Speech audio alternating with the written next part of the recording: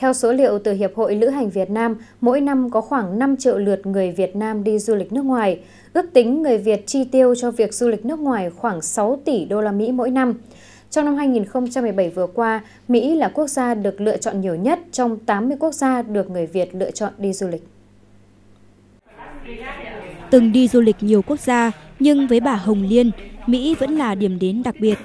Để chuẩn bị cho tour du lịch Mỹ của gia đình vào đầu năm 2018, bà Liên đã tìm đến công ty du lịch để tìm hiểu những thông tin cần thiết. À, người Việt Nam bây giờ mình đi nước ngoài ấy, gần như là quá dễ dàng so với trước kia. Cái thời tuổi trẻ của chúng tôi là không có cái điều kiện đấy. Đi nước nào cũng là cũng là đi du lịch. Thế nhưng Mỹ thì nó có một cái, tức là thứ nhất là nói người Việt Nam mình ấy nói đến Mỹ thì vẫn có một cái gì đấy là nó rất khác so với lại tất cả các nước khác.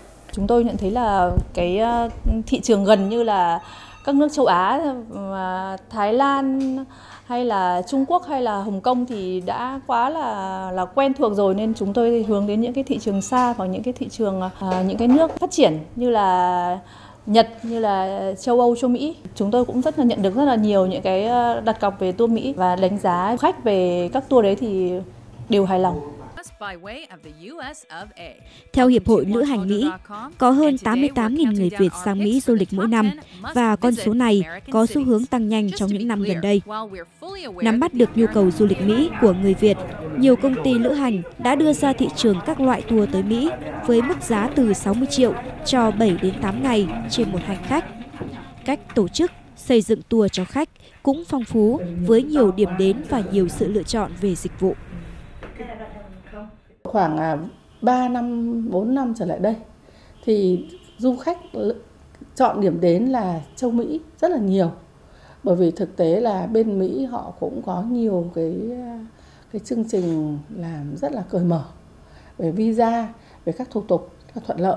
Thường thì chúng tôi rất là hướng định hướng khách những cái sản phẩm như thế nào là phải phù hợp với cái khả năng tài chính cũng như là phù hợp với mục đích đi.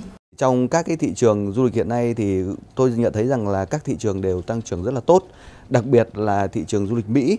Khi xây dựng một cái sản phẩm chương trình tour thì chúng tôi luôn luôn mong muốn là trong một cái khoảng thời gian hợp lý sẽ làm sao mà đưa khách hàng đến được những cái địa danh tham quan nổi tiếng nhất, đẹp nhất của đất nước Mỹ với cái chi phí hợp lý nhất. Vừa qua, Thủ tướng Nguyễn Xuân Phúc đã phê duyệt đề án định hướng phát triển đường bay trực tiếp giữa Việt Nam và các quốc gia địa bàn trọng điểm trong đó, riêng với đường bay đến Mỹ, năm 2018, Việt Nam Airlines dự kiến sẽ mở đường bay thẳng tới Los Angeles và San Francisco. Điều này được kỳ vọng sẽ góp một phần quan trọng trong việc thúc đẩy du lịch giữa hai nước Việt Nam-Hoa Kỳ. Những thông tin vừa rồi đã kết thúc bản tin Việt Nam và Thế giới ngày hôm nay của chúng tôi. Cảm ơn quý vị đã dành thời gian quan tâm theo dõi. Xin kính chào và hẹn gặp lại.